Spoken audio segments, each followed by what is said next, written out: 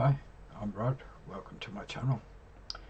Today I am listening to Robert Plant featuring Imelda May and they will be performing Rock and Roll.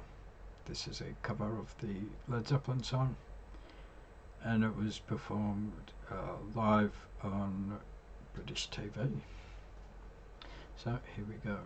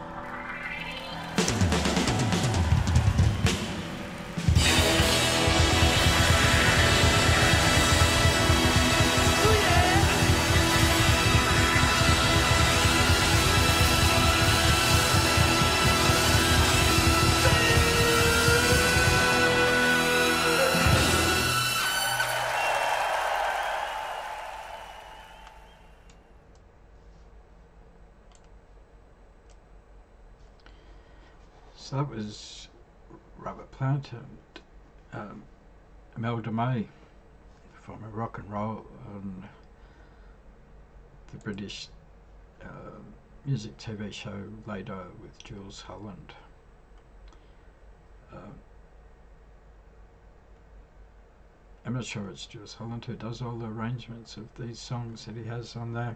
Um, whoever it is does a great job. I think it might be Jools Holland who does it. Um, you got some great musicians on there. Uh, this was a great cover. Uh, very much a had a rockabilly feel to it. Um, the original was a rock and roll hard rock song. The piano, the double bass, the, the guitar um, all gave this a rockabilly feel. Um, had a nice guitar solo in there, and um, Jools Holland had a little piano solo there. His piano was great all the way through. The horns were great, especially the sac- uh, the saxophones and the drums. Um, just a, a great cover, a great live performance. Uh, a bit about them.